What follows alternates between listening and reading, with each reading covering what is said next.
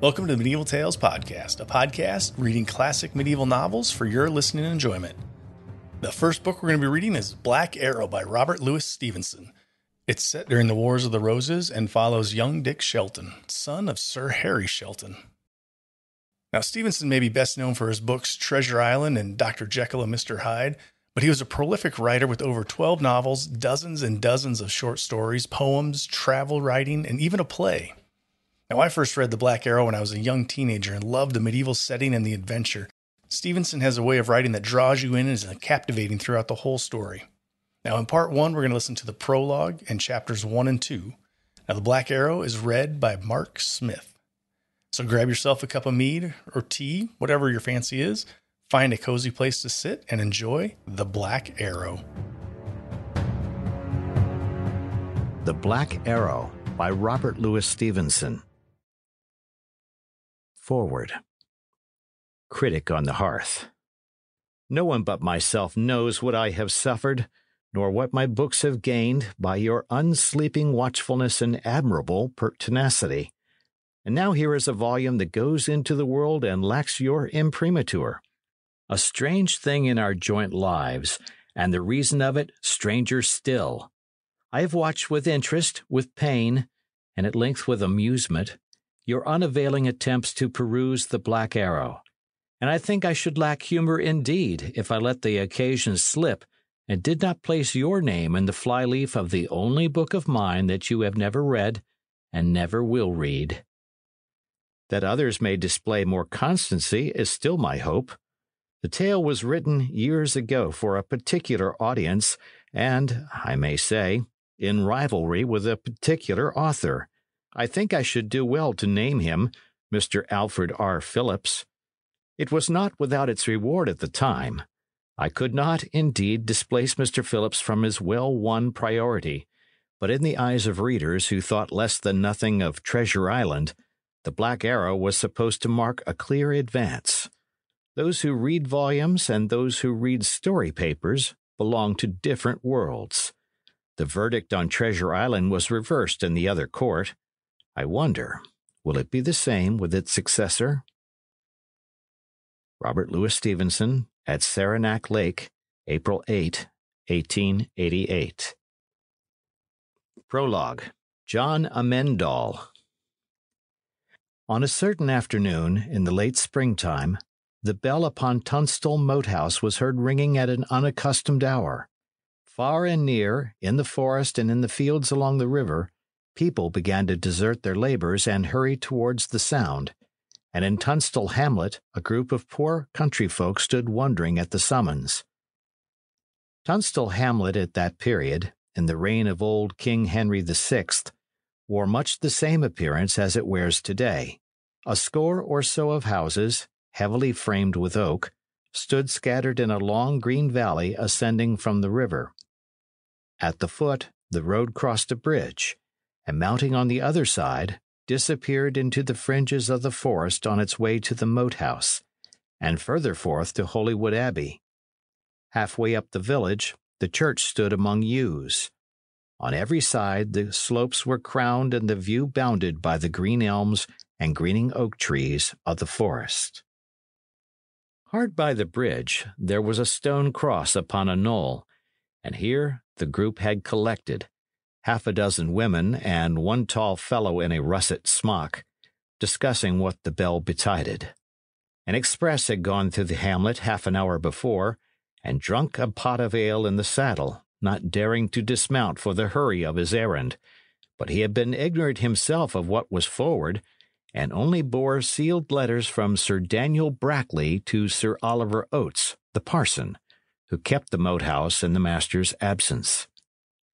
But now there was the noise of a horse, and soon, out of the edge of the wood and over the echoing bridge, there rode up young Master Richard Shelton, Sir Daniel's ward.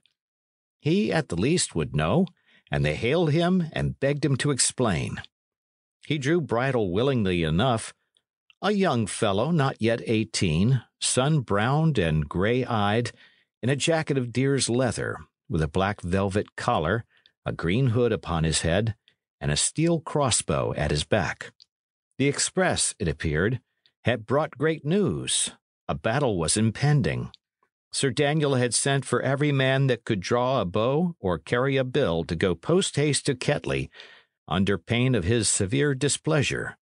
But for whom they were to fight, or of where the battle was expected, Dick knew nothing. Sir Oliver would come shortly himself, and Bennet Hatch was arming at that moment, for he it was who should lead the party. It is the ruin of this kind land, a woman said. If the barons live at war, plough folk must eat roots. Nay, said Dick, every man that follows shall have sixpence a day, and archers twelve. If they live, returned the woman, that may very well be. But how if they die, my master? They cannot better die than for their natural lord, said Dick. No natural lord of mine, said the man in the smock. I followed the Walsinghams, so we all did down Brierly way till two years ago, come Candlemas, and now I must side with Brackley. It was the law that did it. Call ye that natural? But now, what with Sir Daniel and what with Sir Oliver, that knows more of law than honesty, I have no natural lord but poor King Harry the Sixth, God bless him, the poor innocent that cannot tell his right hand from his left. You speak with an ill tongue, friend, answered Dick, to miscall your good master and my lord the king in the same libel. But King Harry, praise be the saints, has come again into his right mind, and will have all things peaceably ordained. And as for Sir Daniel, ye are very brave behind his back. But I will be no talebearer, and let that suffice.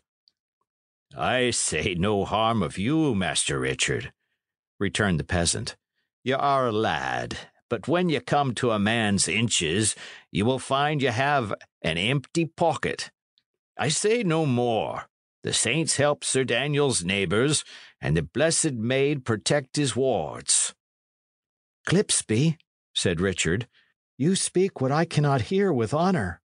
Sir Daniel is my good master and my guardian. Come now, will you read me a riddle? returned Clipsby. On whose side is Sir Daniel?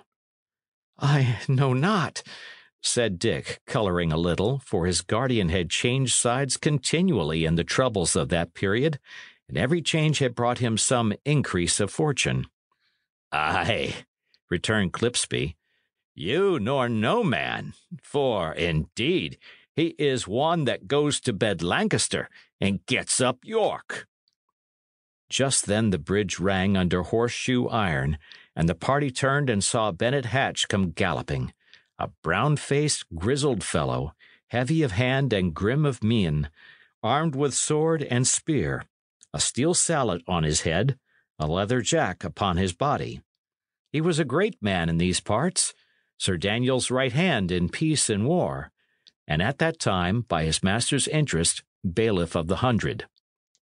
Clipsby, he shouted, off to the moat house and send all the other laggards the same gait. Bowyer will give you jack and sallet. We must ride before curfew. Look to it. He that is last at the lich gate, Sir Daniel shall reward. Look to it right well. I know you for a man of naught. Nance, he added to one of the women, is old Appleyard uptown? I'll warrant you, replied the woman. In his field for sure.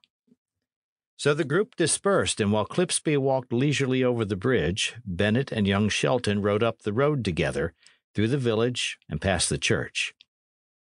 You will see the old shrew, said Bennet. He will waste more time grumbling and prating of Harry the Fifth than would serve a man to shoe a horse, and all because he has been to the French wars. The house to which they were bound was the last in the village, standing alone among lilacs and beyond it, on three sides, there was open meadow rising towards the borders of the woods. Hatch dismounted, threw his rein over the fence, and walked down the field, Dick keeping close at his elbow, to where the old soldier was digging knee deep in his cabbages, and now and again, in a cracked voice, singing a snatch of song. He was all dressed in leather, only his hood and tippet were of black frieze and tied with scarlet. His face was like a walnut shell, both for color and wrinkles, but his old gray eye was still clear enough and his sight unabated. Perhaps he was deaf. Perhaps he thought it unworthy of an old archer of Agincourt to pay any heed to such disturbances, but neither the surly notes of the alarm bell nor the near approach of Bennet and the lad appeared at all to move him, and he continued obstinately digging and piped up very thin and shaky, Now, dear lady, if thy will be, I pray that you will rue on me. Nick Appleyard, said Hatch, Sir Oliver commends him to you, and bids that ye should come within this hour to the moat house, there to take command. The old fellow looked up. Save you, my masters, he said, grinning. And where goeth Master Hatch? Master Hatch is off to Kettley with every man that we can horse, returned Bennet. There is a fight toward, it seems, and my lord stays a reinforcement. Ay, verily, returned Appleyard. And what will ye leave me to garrison withal? I leave you six good men, and Sir Oliver to boot, answered Hatch. It'll not hold the place, said Appleyard. The number sufficeth not. It would take two score to make it good. Why, it's for that we came to you, old shrew, replied the other. Who else is there but you that could do aught in such a house with such a garrison? Ay, when the pinch comes, ye remember the old shoe, returned Nick. There is not a man of you can back a horse or hold a bill. And as for archery, St. Michael, if old Harry the Fifth were back again, he would stand and let you shoot at him for a farthing a shoot. Nay, Nick, there's some can draw a good bow yet, said Bennet. Draw a good bow, cried Appleyard. Yes, but who'll shoot me a good shoot? It's there the eye comes in, and the head between your shoulders. Now, what might you call a long shoot, Bennet Hatch? Well, said Bennet, looking about him, it would be a long shoot from here into the forest. Ay, it would be a longish shoot, said the old fellow, turning to look over his shoulder, and then he put up his hand over his eyes and stood staring. Why, what are you looking at? asked Bennet with a chuckle. Do you see Harry the Fifth? The veteran continued looking up the hill in silence. The sun shone broadly over the shelving meadows. A few white sheep wandered browsing. All was still but the distant jangle of the bell. What is it, Appleyard? asked Dick. Why, the birds, said Appleyard. And, sure enough, over the top of the forest, where it ran down in a tongue among the meadows, and ended in a pair of goodly green elms about a bowshot from the field where they were standing, a flight of birds was skimming to and fro, in evident disorder. What of the birds? said Bennet. Ay, returned Appleyard. You're a wise man to go to war, Master Bennet. Birds are a good sentry. In forest places, they be the first line of battle. Look you now, if we lay here in camp, there might be archers skulking down to get the wind of us, and here would you be none the wiser. Why, old shrew, said Hatch, there be no man nearer to us than Sir Daniel's at Kettley. Ye are as safe as in London Tower, and ye raise scares upon a man for a few chaffinches and sparrows. Hear him, grinned Appleyard. How many a rogue would give his two crop ears to have a shoot at either of us? St. Michael, man, they hate us like two polecats. Well, sooth it is, they hate Sir Daniel, answered Hatch, a little sobered. Ay, they hate Sir Daniel, and they hate every man that serves with him, said Appleyard. And in the first order of hating, they hate Bennet Hatch and old Nicholas the bowman. See ye here, if there was a stout fellow yonder in the wood edge, and you and I stood fair for him, as by St. George we stand, which, think ye, would he choose? You for a good wager, answered Hatch. My surcoat to a leather belt, it would be you, cried the old archer. You burned Grimstone, Bennet. They'll ne'er forgive you that, my master. And as for me, I'll soon be in a good place, God grant, and out of bow shoot, ay, and cannon shoot, of all their malices. I am an old man, and draw fast to homeward where the bed is ready. But for you, Bennet, ye are to remain behind here at your own peril, and if ye come to my years unhanged, the old true blue English spirit will be dead. You are the shrewestest old dolt in Tunstall Forest, returned Hatch, visibly ruffled by these threats. Get you to your arms before Sir Oliver come, and leave prating for one good while. And ye had talked so much with Harry the Fifth, his ears would have been richer than his pocket. An arrow sang in the air like a huge hornet. It struck old Appleyard between the shoulder blades and pierced him clean through, and he fell forward on his face among the cabbages. Hatch, with a broken cry, leaped into the air. Then, stooping double, he ran for the cover of the house. And in the meanwhile, Dick Shelton had dropped behind a lilac and had his crossbow bent and shouldered, covering the point of the forest. Not a leaf stirred. The sheep were patiently browsing. The birds had settled. But there lay the old man with a cloth yard arrow standing in his back, and there were Hatch holding to the gable, and Dick crouching and ready behind the lilac bush. Do you see aught? cried Hatch. Not a twig stirs, said Dick.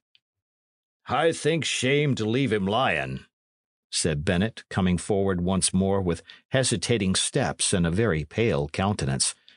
Keep a good eye on the wood, Master Shelton. Keep a clear eye on the wood. The saints assoil us. Here was a good shoot. Bennet raised the old archer on his knee.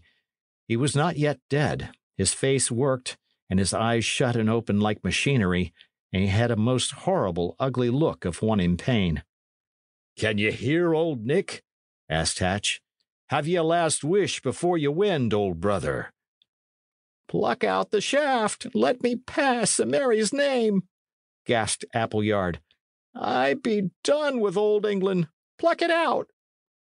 Master Dick, said Bennet, come hither and pull me a good pull upon the arrow. He would fain pass, the poor sinner. Dick laid down his crossbow and, pulling hard upon the arrow, drew it forth. A gush of blood followed. The old archer scrambled half upon his feet, called once upon the name of God, and then fell dead. Hatch, upon his knees among the cabbages, prayed fervently for the welfare of the passing spirit. But even as he prayed, it was plain that his mind was still divided, and he kept ever an eye upon the corner of the wood from which the shot had come. When he had done, he got to his feet again, drew off one of his mailed gauntlets, and wiped his pale face, which was all wet with terror. Aye, he said, it'll be my turn next. Who hath done this, Bennet? Richard asked, still holding the arrow in his hand. Nay, the saints know, said Hatch. Here are a good two score Christian souls that we have hunted out of house and holding, he and I.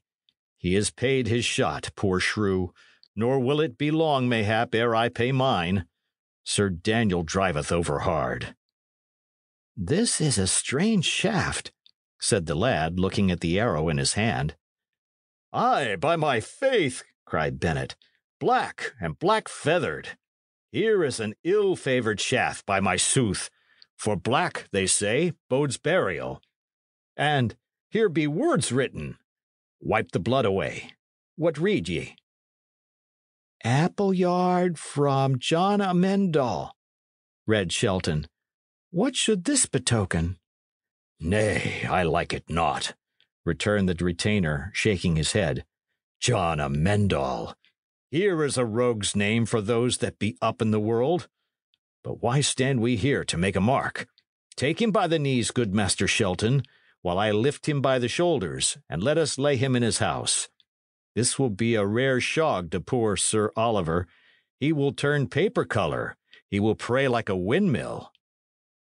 They took up the old archer and carried him between them into his house, where he had dwelt alone, and there they laid him on the floor, out of regard for the mattress, and sought, at best they might, to straighten and compose his limbs.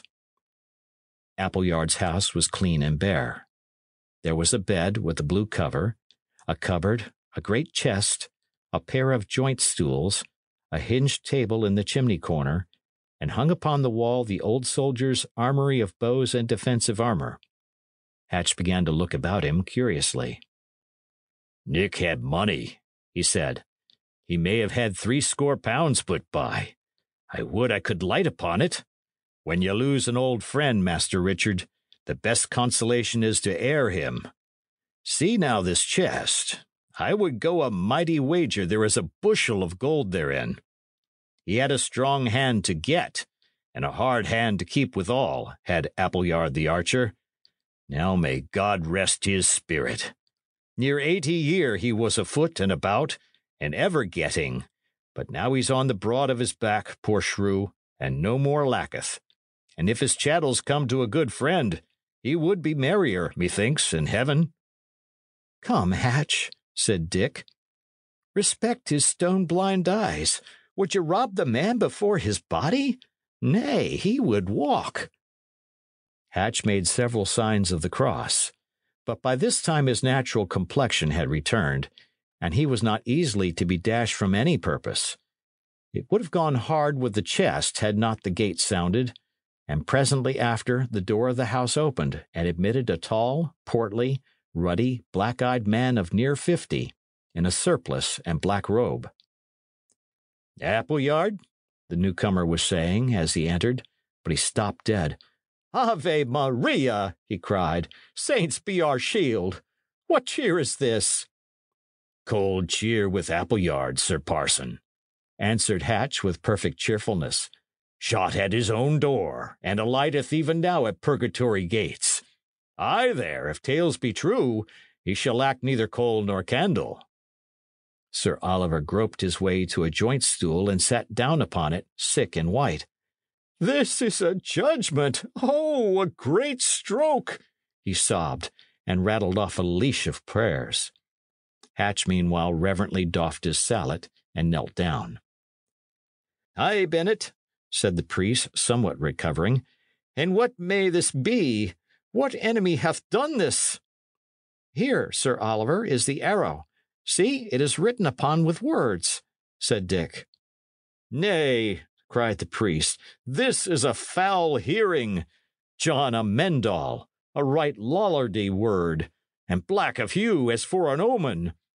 Sirs, this knave arrow likes me not, but it importeth rather to take counsel. Who should this be? Bethink you, Bennet. Of so many black ill willers, which should he be that doth so heartily outface us? Simnel? I do much question it. The Walsinghams? Nay, they are not yet so broken, and they still think to have the law over us when times change. There was Simon Malmesbury, too. How think ye, Bennet? What think ye, sir? returned Hatch. Of Ellis Duckworth. Nay, Bennet, never. Nay, not he, said the priest. There cometh never any rising, Bennet, from below. So all judicious chroniclers concord in their opinion. But rebellion travelleth ever downward from above. And when Dick, Tom, and Harry take them to their bills, look ever narrowly to see what lord is profited thereby. Now, Sir Daniel, having once more joined him to the Queen's party, is in ill odour with the Yorkist lords. Thence, Bennet, comes the blow. By what procuring I yet seek, but therein lies the nerve of this discomfiture. An it please you, Sir Oliver, said Bennet, the axles are so hot in this country that I have long been smelling fire. So did this poor sinner, Appleyard. And, by your leave, men's spirits are so foully inclined to all of us that it needs neither York nor Lancaster to spur them on. Hear my plain thoughts. You, that are a clerk, and Sir Daniel, that sails on any wind, ye have taken many men's goods, and beaten and hanged not a few. Ye are called to count for this. In the end, I wot not how, Ye have ever the uppermost at law, and ye think all patched. But give me leave, Sir Oliver. The man that ye have dispossessed and beaten is but the angrier. And some day, when the black devil is by, he will up with his bow and clout me a yard of arrow through your inwards. Nay, Bennet, ye are in the wrong. Bennet, ye should be glad to be corrected, said Sir Oliver. Ye are a prater, Bennet, a talker, a babbler. Your mouth is wider than your two ears. Mend it, Bennet, mend it. Nay, I say no more. Have it as ye list, said the retainer. The priest now rose from the stool, and from the writing case that hung about his neck took forth wax and a taper, and a flint and steel. With these he sealed up the chest and the cupboard with Sir Daniel's arms, Hatch looking on disconsolate, and then the whole party proceeded, somewhat timorously, to sally from the house and get to horse. "'Tis time we were on the road, Sir Oliver," said Hatch, as he held the priest's stirrup while he mounted. Ay, but Bennet, things are changed, returned the parson. There is now no Appleyard, rest his soul, to keep the garrison. I shall keep you, Bennet. I must have a good man to rest me on in this day of black arrows. The arrow that flieth by day, saith the Evangel. I have no mind of the context. Nay, I am a sluggard priest. I am too deep in men's affairs. Well, let us ride forth, Master Hatch. The jackman should be at the church by now. So they rode forward down the road, with the wind after them, blowing the tails of the parson's cloak, and behind them, as they went, clouds began to arise and blot out the sinking sun. They had passed three of the scattered houses that make up Tunstall hamlet, when, coming to a turn, they saw the church before them. Ten or a dozen houses clustered immediately round it, but to the back the churchyard was next the meadows. At the lych gate near a score of men were gathered, some in the saddle, some standing by their horses' heads. They were variously armed and mounted, some with spears, some with bills, some with bows, and some bestriding plough horses still splashed with the mire of the furrow. For these were the very dregs of the country, and all the better men and the fair equipments were already with Sir Daniel in the field. We have not done amiss, praise be the cross of Holywood. Sir Daniel will be right well content, observed the priest, inwardly numbering the troop. Who goes? Stand if ye be true, shouted Bennet. A man was seen slipping through the churchyard among the yews, and at the sound of this summons he discarded all concealment and fairly took to his heels for the forest. The men at the gate, who had been hitherto unaware of the stranger's presence, woke and scattered. Those who had dismounted began scrambling into the saddle. The rest rode in pursuit, but they had to make the circuit of the consecrated ground, and it was plain their quarry would escape them. Hatch, roaring an oath, put his horse at the hedge to head him off, but the beast refused and sent his rider sprawling in the dust. And though he was up again in a moment and had caught the bridle, the time had gone by, and the fugitive had gained too great a lead for any hope of capture. The wisest of all had been Dick Shelton. Instead of starting in a vain pursuit, he had whipped his crossbow from his back, bent it, and set a quarrel to the string.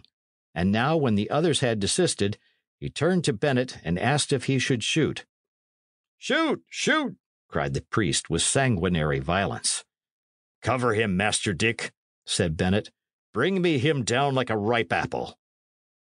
The fugitive was now within but a few leaps of safety, but this last part of the meadow ran very steeply uphill, and the man ran slower in proportion. What with the grayness of the falling night and the uneven movements of the runner, it was no easy aim, and as Dick leveled his bow, he felt a kind of pity and a half desire that he might miss. The quarrel sped. The man stumbled and fell, and a great cheer arose from Hatch and the pursuers. But they were counting their corn before the harvest. The man fell lightly. He was lightly afoot again, turned and waved his cap in a bravado, and was out of sight next moment in the margin of the wood. And the plague go with him! cried Bennet. He has thieves' heels. He can run, by St. Banbury. But you touched him, Master Shelton. He has stolen your quarrel. May he never have good, I grudge him less. Nay, but what made he by the church? asked Sir Oliver. I am shrewdly afeard there has been mischief here. Clipsby, good fellow, get you down from your horse and search thoroughly among the yews. Clipsby was gone but a little while ere he returned, carrying a paper. This writing was pinned to the church door, he said, handing it to the parson. I found naught else, Sir Parson. Now, by the power of Mother Church, cried Sir Oliver, but this runs hard on sacrilege. For the king's good pleasure, or the lord of the manor, well. But that every run the hedge and a green jerkin should fasten papers to the chancel door, nay, it runs hard on sacrilege, hard and men have burned for matters of less weight. But what have we here? The light falls apace. Good Master Richard, ye have young eyes. Read me, I pray, this libel. Dick Shelton took the paper in his hand and read it aloud. It contained some lines of very rugged doggerel, hardly even rhyming, written in a gross character and most uncouthly spelt. With the spelling somewhat bettered, this is how they ran. I had four black arrows under my belt, four for the griefs that I have felt, four for the number of ill men that have oppressed me now and then. One is gone, one is well sped. Old Appleyard is dead. One is for Master Bennet Hatch, that burned Grimstone, walls and thatch. One for Sir Oliver Oates, that cut Sir Harry Shelton's throat. Sir Daniel, Ye shall have the fourth. We shall think it fair sport. You shall each have your own part, a black arrow in each black heart. Get ye to your knees for to pray. Ye are dead thieves by yea and nay. Signed, John Amend-All of the Greenwood and his jolly fellowship. Item, we have more arrows and good hempen cord for others of your following. Now, well a day for charity and the Christian graces, cried Sir Oliver lamentably. Sirs, this is an ill world, and groweth daily worse. I will swear upon the cross of Holywood I am as innocent of that good knight's hurt, whether in act or purpose, as the babe unchristened. Neither was his throat cut, for therein they are again in error, as there still live credible witnesses to show. It boots not, Sir Parson, said Bennet. Here is unseasonable talk. Nay, Master Bennet, not so. Keep ye in your due place, good Bennet, answered the priest. I shall make mine innocence appear. I will, upon no consideration, lose my poor life in error. I take all men to witness that I am clear of this matter. I was not even in the moat house. I was sent of an errand before nine upon the clock, Sir Oliver, said Hatch, interrupting, since it please you not to stop this sermon, I will take other means. Goffe, sound to horse. And while the tucket was sounding, Bennet moved close to the bewildered parson and whispered violently in his ear. Dick Shelton saw the priest's eye turned upon him for an instant in a startled glance. He had some cause for thought, for this Sir Harry Shelton was his own natural father but he said never a word, and kept his countenance unmoved. Hatch and Sir Oliver discussed together for a while their altered situation. Ten men, it was decided between them, should be reserved, not only to garrison the moat house, but to escort the priests across the wood. In the meantime, as Bennet was to remain behind, the command of the reinforcement was given to Master Shelton. Indeed, there was no choice. The men were loutish fellows, dull and unskilled in war, while Dick was not only popular, but resolute and grave beyond his age. Although his youth had been spent in these rough country places, the lad had been well taught in letters by Sir Oliver, and Hatch himself had shown him the management of arms and the first principles of command. Bennet had always been kind and helpful. He was one of those who are cruel as the grave to those they call their enemies but ruggedly faithful and well willing to their friends. And now, while Sir Oliver entered the next house to write, in his swift, exquisite penmanship, a memorandum of the last occurrences to his master, Sir Daniel Brackley, Bennet came up to his pupil to wish him Godspeed upon his enterprise. You must go the long way about, Master Shelton, he said, round by the bridge for your life. Keep a sure man fifty paces afore you to draw shots, and go softly till you are past the wood. If the rogues fall upon you, ride for it. You will do naught by standing. And keep ever forward, Master Shelton. Turn me not back again, and you love your life. There is no help in Tunstall, mind you that. And now, since you go to the great wars about the king, and I continue to dwell here in extreme jeopardy of my life, and the saints alone can certify if we shall meet again below, I give you my last counsels now at your writing. Keep an eye on Sir Daniel. He is unsure. Put not your trust in the jack priest. He intendeth not amiss, but doth the will of others. It is a handgun for Sir Daniel. Get your good lordship where you go. Make you strong friends. Look to it. And think ever a paternoster while on Bennet Hatch. There are worse rogues afoot than Bennet. So, Godspeed. And heaven be with you, Bennet, returned Dick. You were a good friend to me, Ward, and so I shall say ever. And look ye, master, added Hatch with a certain embarrassment, if this Amend-All should get a shaft into me, you might mayhap lay out a gold mark, or mayhap a pound for my poor soul, for it is like to go stiff with me in purgatory. You shall have your will of it, Bennet, answered Dick. But what cheer, man! We shall meet again, where you shall have more need of ale than masses. The saints so grant it, Master Dick, returned the other. But here comes Sir Oliver, and he were as quick with the longbow as with the pen, he would be a brave man at arms. Sir Oliver gave Dick a sealed packet with this superscription To my right worshipful master, Sir Daniel Brackley, knight, be this delivered in haste and Dick, putting it in the bosom of his jacket, gave the word and set forth westward up the village. Book 1 The Two Lads, Chapter 1 At the Sign of the Sun in Kettley. Sir Daniel and his men lay in and about Kettley that night, warmly quartered and well patrolled. But the Knight of Tunstall was one who never rested from money getting, and even now, when he was on the brink of an adventure which should make or mar him, he was up an hour after midnight to squeeze poor neighbors. He was one who trafficked greatly in disputed inheritances. It was his way to buy out the most unlikely claimant, and then, by the favor he curried with great lords about the king, procure unjust decisions in his favor, or, if that was too roundabout, to seize the disputed manor by force of arms and rely on his influence and Sir Oliver's cunning in the law to hold what he had snatched. Kettley was one such place. It had come very lately into his clutches.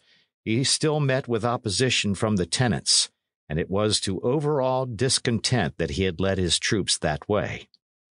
By two in the morning, Sir Daniel sat in the inn room, close by the fireside, for it was cold at that hour among the fens of Kettley, by his elbow stood a pottle of spiced ale.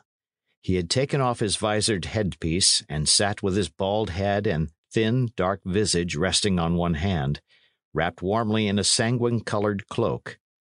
At the lower end of the room, about a dozen of his men stood sentry over the door or lay asleep on benches, and, somewhat nearer hand, a young lad, apparently of twelve or thirteen, was stretched in a mantle on the floor. The host of the Sun stood before the great man. Now mark me, mine host, Sir Daniel said. Follow but mine orders, and I shall be your good lord ever. I must have good men for headboroughs, and I will have Adam-a-More High Constable. See to it narrowly. If other men be chosen, it shall avail you nothing. Rather, it shall be found to your sore cost. For those that have paid rent to Walsingham, I shall take good measure. You among the rest, mine host. Good night, said the host. I will swear upon the cross of Holywood I did but pay to Walsingham upon compulsion. Nay, bully knight, I love not the rogue Walsinghams.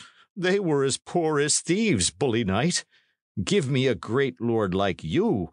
Nay, ask me among the neighbours. I am stout for Brackley. It may be, said Sir Daniel dryly. You shall then pay twice. The innkeeper made a horrid grimace, but this was a piece of bad luck that might readily befall a tenant in these unruly times, and he was perhaps glad to make his peace so easily. Bring up yon fellow, Selden, cried the knight.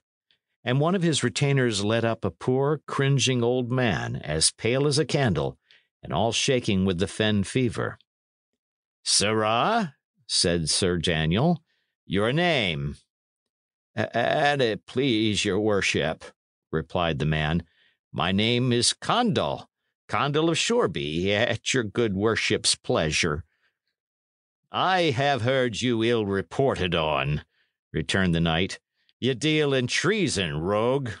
Ye trudge the country leasing. Ye are heavily suspicioned of the death of severals. How, fella, are ye so bold? But I will bring you down. Ah, right honorable and my reverend lord, the man cried. Here is some hodgepodge, saving your good presence. I am but a poor private man, and have hurt none. The under sheriff did report of you most vilely, said the knight. Seize me, saith he, that Tyndal of Shoreby. Condall, my good lord, Condall is my poor name said the unfortunate. Condall or Tyndall, it is all one, replied Sir Daniel coolly. For by my sooth ye are here, and I do mightily suspect your honesty. If you would save your neck, write me swiftly an obligation for twenty pound. For twenty pound, my good lord, cried Condall. Here is midsummer madness. My whole estate amounteth not to seventy shillings. Condall or Tyndall, returned Sir Daniel, grinning, I will run my peril of that loss. Write me down twenty, and when I have recovered all I may, I will be good lord to you, and pardon you the rest. Alas, my good lord, it may not be. I have no skill to write, said Condall. Well a day, returned the knight. Here then is no remedy. Yet I would fain have spared you, Tyndall, had my conscience suffered. Selden, take me this old shrew softly to the nearest elm and hang me him tenderly by the neck, where I may see him at my writing.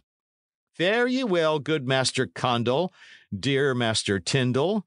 Ye are post haste for paradise. Fare ye then well. Nay, my bright pleasant lord, replied Condall, forcing an obsequious smile. And ye be so masterful as doth right well become you.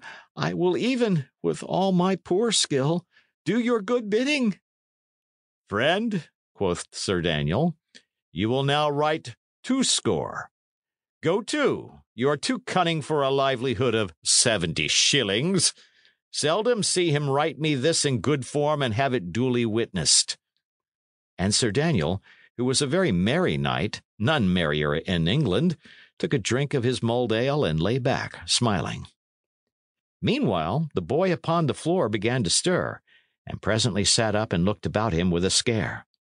Hither, said Sir Daniel, and as the other rose at his command and came slowly towards him, he leaned back and laughed outright. By the rood, he cried, a sturdy boy. The lad flushed crimson with anger and darted a look of hate out of his dark eyes. Now that he was on his legs, it was more difficult to make certain of his age.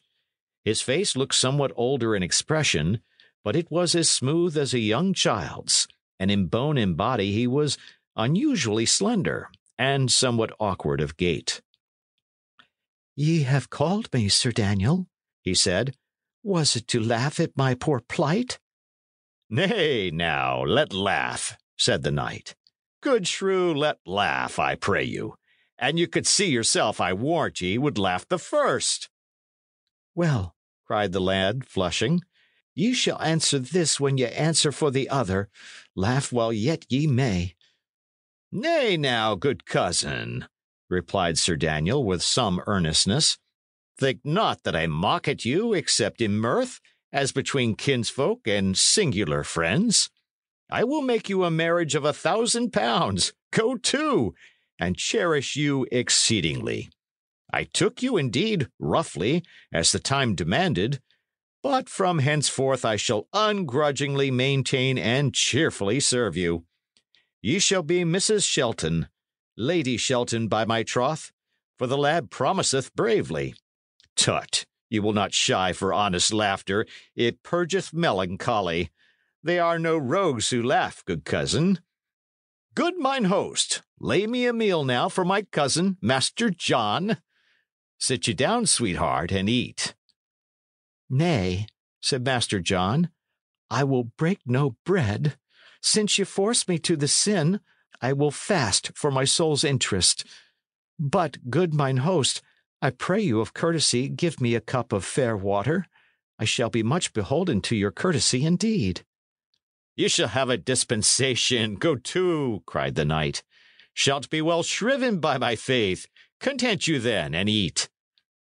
But the lad was obstinate, drank a cup of water, and, once more wrapping himself closely in his mantle, sat in a far corner brooding. In an hour or two there rose a stir in the village of sentries challenging, and the clatter of arms and horses, and then a troop drew up by the inn door, and Richard Shelton, splashed with mud, presented himself upon the threshold. Save you, Sir Daniel, he said. How, Dickie Shelton! cried the knight, and at the mention of Dick's name the other lad looked curiously across. What maketh Bennet Hatch? Please you, Sir Knight, to take cognizance of this packet from Sir Oliver, wherein are all things fully stated, answered Richard, presenting the priest's letter. And please you farther, you were best make all speed to Risingham, for on the way hither we encountered one riding furiously with letters, and by his report, my lord of Risingham were sore bested, and lacked exceedingly your presence. How say you, sore bested? returned the knight. Nay, then we will make speed sitting down, good Richard. As the world goes in this poor realm of England, he that rideth softliest rides surest. Delay, they say, begetteth peril. But it is rather this itch of doing that undoes men. Mark it, Dick. But let me see first what cattle ye have brought. Selden, a link here at the door. And Sir Daniel strode forth into the village street, and by the red glow of a torch inspected his new troops. He was an unpopular neighbor and an unpopular master, but as a leader in war he was well beloved by those who rode behind his pennant. His dash, his proved courage, his forethought for the soldier's comfort, even his rough jibes, were all to the taste of the bold blades in Jack and Sallet. Nay, by the rood, he cried, what poor dogs are these? Here be some as crooked as a bow, and some as lean as a spear. Friends, ye shall ride in the front of the battle. I can spare you, friends. Mark me this old villain on the piebald. A two year mutton riding on a hog would look more soldierly. Ha! Clipsby, are you there, old rat? Ye are a man I could lose with a good heart. Ye shall go in front of all, with a bull's eye painted on your jack to be the better butt for archery. Sirrah, you shall show me the way. I will show you any way, Sir Daniel, but the way to change sides, returned Clipsby sturdily. Sir Daniel laughed a guffaw. Why, well said, he cried. Hast a shrewd tongue in thy mouth, go to. I will forgive you for that merry word. Selden, see them fed, both man and brute. The knight re entered the inn. Now, Fred and Dick, he said, fall to. Here is good ale and bacon. Eat while that I read. Sir Daniel opened the packet, and as he read, his brow darkened. When he had done, he sat a little, musing. Then he looked sharply at his ward. Dick, said he, ye have seen this penny rhyme? The lad replied in the affirmative. It bears your father's name, continued the knight, and our poor shrew of a parson is, by some mad soul, accused of slaying him. He did most eagerly deny it, answered Dick. He did, cried the knight very sharply. Heed him not. He has a loose tongue. He babbles like a jack sparrow.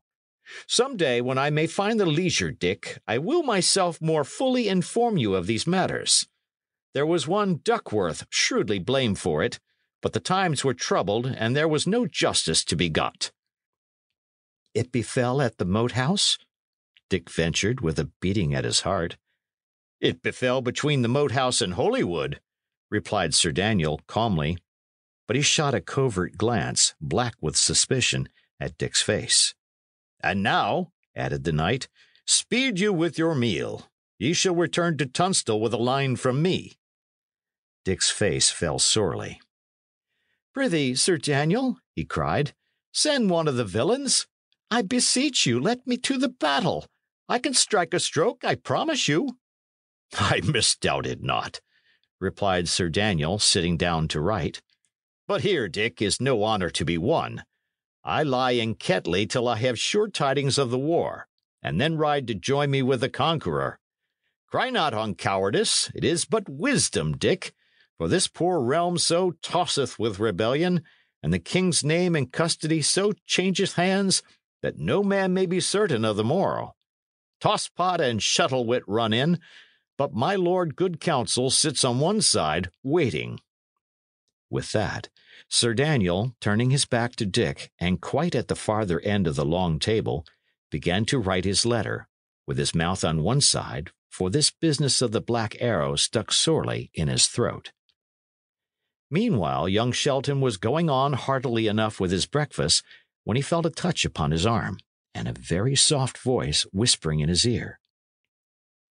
Make not a sign, I do beseech you, said the voice, but of your charity, tell me the straight way to Holywood.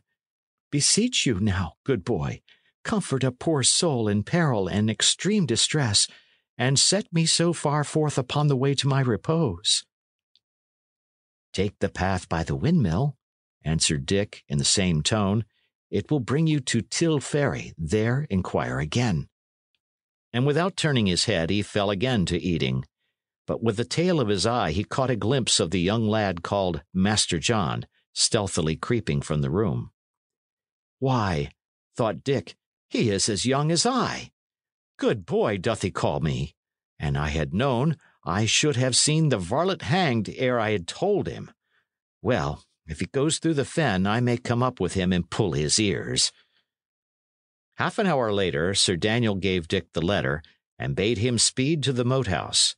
And again, some half an hour after Dick's departure, a messenger came in hot haste from my lord of Risingham. Sir Daniel, the messenger said, you lose great honour, by my sooth. The fight began again this morning ere the dawn, and we have beaten their van and scattered their right wing. Only the main battle standeth fast, and we had your fresh men, we should tilt you them all into the river. What, Sir Knight? Will ye be the last? It stands not with your good credit. Nay, cried the knight, I was but now upon the march. Selden, sound me the tucket. Sir, I am with you on the instant. It is not two hours since the more part of my command came in, Sir Messenger. What would you have? Spurring is good meat, but yet it killed the charger. Bustle, boys! By this time the tucket was sounding cheerily in the morning, and from all sides Sir Daniel's men poured into the main street and formed before the inn. They had slept upon their arms, with chargers saddled, and in ten minutes five score men at arms and archers, cleanly equipped and briskly disciplined, stood ranked and ready. The chief part were in Sir Daniel's livery, murrey and blue, which gave the greater show to their array. The best armed rode first, and away out of sight at the tail of the column came the sorry reinforcement of the night before. Sir Daniel looked with pride along the line. Here be the lads to serve you in a pinch, he said. They are pretty men indeed, replied the messenger. It but augments my sorrow that ye had not marched the earlier. Well, said the knight, what would ye? The beginning of a feast and the end of a fray, sir messenger. And he mounted into his saddle. Why, how now? he cried. John! Joanna! Nay, by the sacred rood, where is she? Host, where is that girl? Girl, Sir Daniel? cried the landlord. Nay, sir, I saw no girl. Boy, then, dotard, cried the knight. Could ye not see it was a wench? She in the murrey coloured mantle. She that broke her fast with water, rogue, where is she? Nay, the saints bless us. Master John, ye called him, said the host. Well, I thought none evil. He is gone. I saw him, uh, her, I saw her in the stable a good hour agone, and was saddling a grey horse. Now, by the rood, cried Sir Daniel, the wench was worth five hundred pound to me and more. Sir Knight, observed the messenger with bitterness, while that ye are here, roaring for five hundred pounds, the realm of England is elsewhere being lost and won. It is well said, replied Sir Daniel. Selden, fall me out with six crossbowmen, hunt me her down. I care not what it cost, but at my returning let me find her at the moat house, be it upon your head. And now, sir messenger, we march and the troop broke into a good trot, and Selden and his six men were left behind upon the street of Kettley with the staring villagers. Chapter 2 In the Fen It was near six in the May morning when Dick began to ride down into the fen upon his homeward way. The sky was all blue, jolly wind blew loud and steady, the windmill sails were spinning, and the willows over all the fen rippling and whitening like a field of corn. He had been all night in the saddle, but his heart was good and his body sound, and he rode right merrily. The path went down and down into the marsh, till he lost sight of all the neighboring landmarks but Kettley Windmill on the knoll behind him, and the extreme top of Tunstall Forest far before. On either hand there were great fields of blowing reeds and willows, pools of water shaking in the wind, and treacherous bogs as green as emerald to tempt and to betray the traveler. The path lay almost straight through the morass. It was already very ancient. Its foundation had been laid by Roman soldiery. In the lapse of ages, much of it had sunk, and every here and there, for a few hundred yards, it lay submerged below the stagnant waters of the fen. About a mile from Kettley, Dick came to one such break in the plain line of causeway, where the reeds and willows grew dispersedly like little islands and confused the eye. The gap, besides, was more than usually long. It was a place where any stranger might come readily to mischief, and Dick bethought him, with something like a pang, of the lad whom he had so imperfectly directed. As for himself, one looked backward to where the windmill sails were turning black against the blue of heaven one looked forward to the high ground of Tunstall Forest, and he was sufficiently directed and held straight on, the water washing to his horse's knees, as safe as on a highway. Halfway across, and when he had already sighted the path rising high and dry upon the farther side, he was aware of a great splashing on his right, and saw a gray horse sunk to its belly in the mud and still spasmodically struggling. Instantly, as though it had divined the neighborhood of help, the poor beast began to neigh most piercingly. It rolled, meanwhile, a bloodshot eye, insane with terror, and as it sprawled wallowing in the quag, clouds of stinging insects rose and buzzed about it in the air. Alack, thought Dick, can the poor lad have perished? There is his horse for certain, a brave grey. Nay, comrade, if thou criest to me so piteously, I will do all man can to help thee. Shalt not lie there to drown by inches. And he made ready his crossbow and put a quarrel through the creature's head. Dick rode on after this act of rugged mercy, somewhat sobered in spirit, and looking closely about him for any sign of his less happy predecessor in the way. I would I had dared to tell him further, he thought, for I fear he has miscarried in the slough.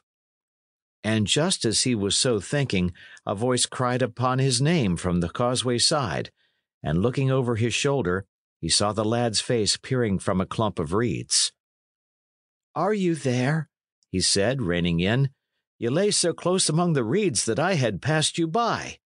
I saw your horse bemired, and put him from his agony, which, by my sooth, and ye had been a more merciful rider, ye had done yourself.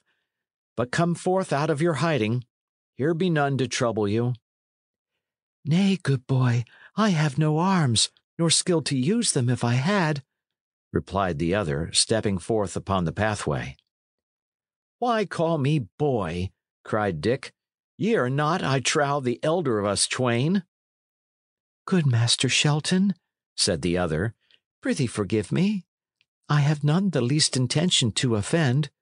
Rather, I would in every way beseech your gentleness and favor, for I am now worse bested than ever, having lost my way, my cloak, and my poor horse. To have a riding rod and spurs, and never a horse to sit upon.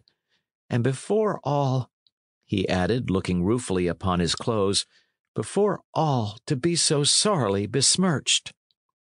Tut, cried Dick, would you mind a ducking? Blood of wound or dust of travel, that's a man's adornment. Nay, then, I like him better plain, observed the lad. But prithee, how shall I do?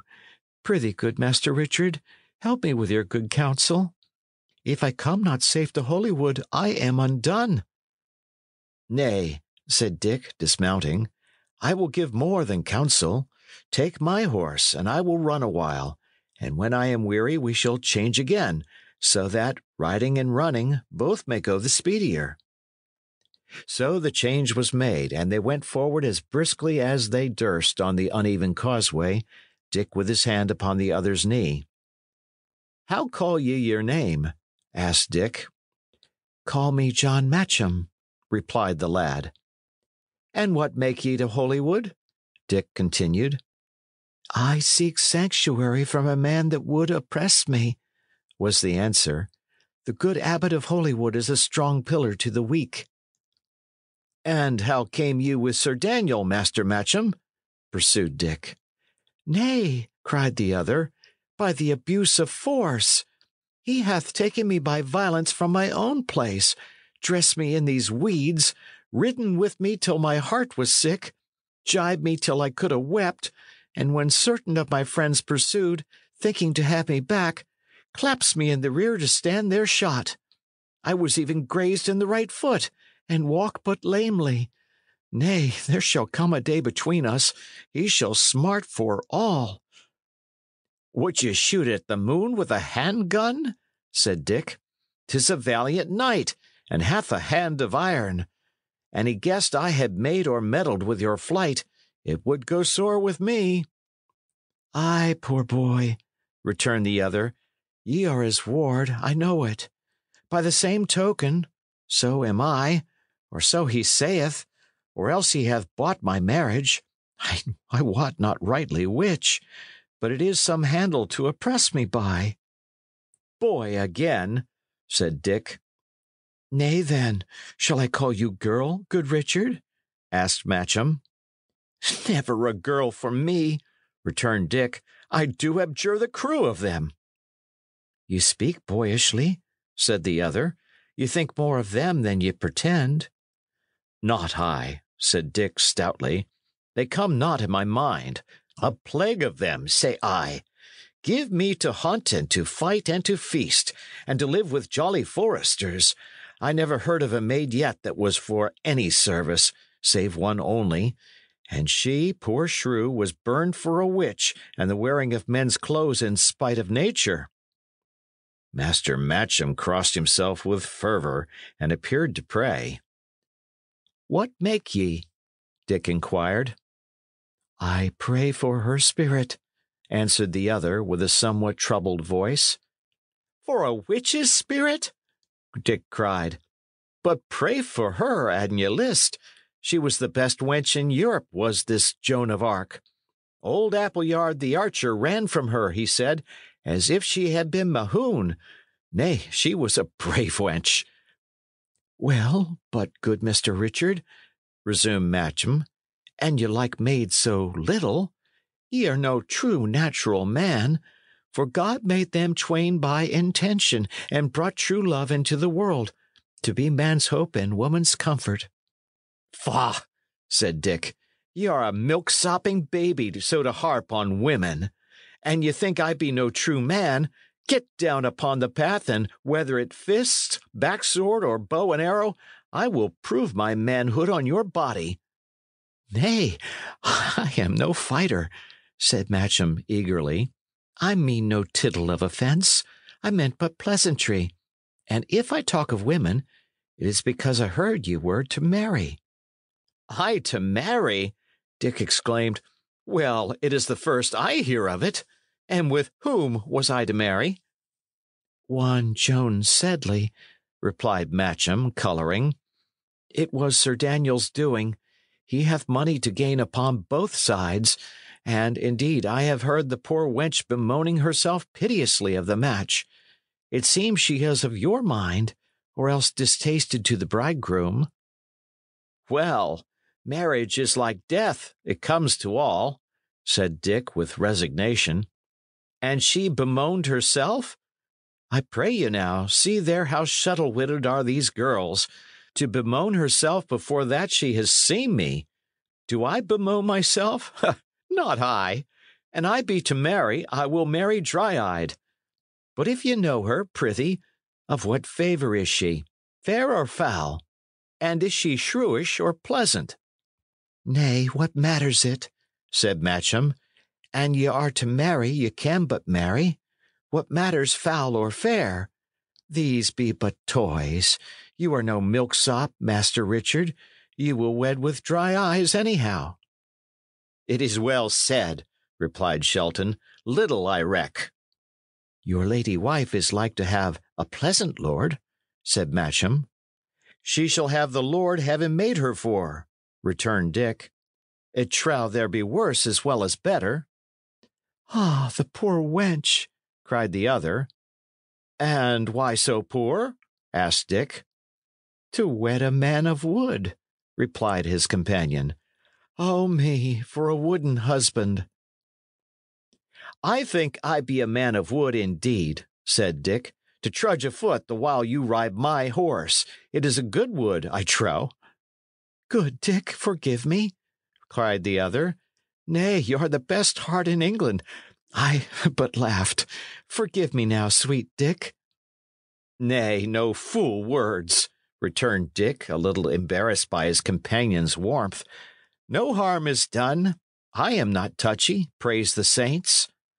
And at that moment the wind, which was blowing straight behind them as they went, brought them the rough flourish of Sir Daniel's trumpeter.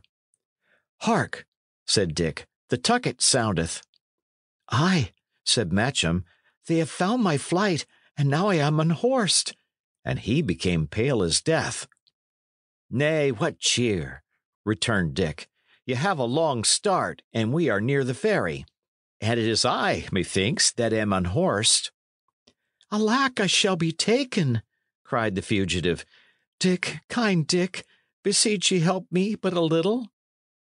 Why now, what aileth thee? said Dick. Methinks I help you very patently, but my heart is sorry for so spiritless a fellow. And see ye here, John Matcham, sith John Matcham is your name, I, Richard Shelton, tide what betideth, come what may, will see you safe in Holywood. The saints so do to me again if I default you. Come, pick me up a good heart, Sir Whiteface. The way betters here. Spur me the horse, go faster, Faster! Nay, mind not for me, I can run like a deer. So, with the horse trotting hard and Dick running easily alongside, they crossed the remainder of the fen and came out upon the banks of the river by the ferryman's hut. I hope you enjoyed the unabridged production of The Black Arrow, Part 1 of 9. If you'd like to support the show, you can become an associate or executive producer by donating $10 or more. You'll get your name mentioned in the credits, listed in the show notes, and you can even list yourself on IMDb as a producer of the show. Now, any amount is accepted and appreciated. You can find all the details at medievaltalespodcast.com. Thank you for listening to the Medieval Tales Podcast. If you are enjoying the show, share it with your friends or blast it out on social media.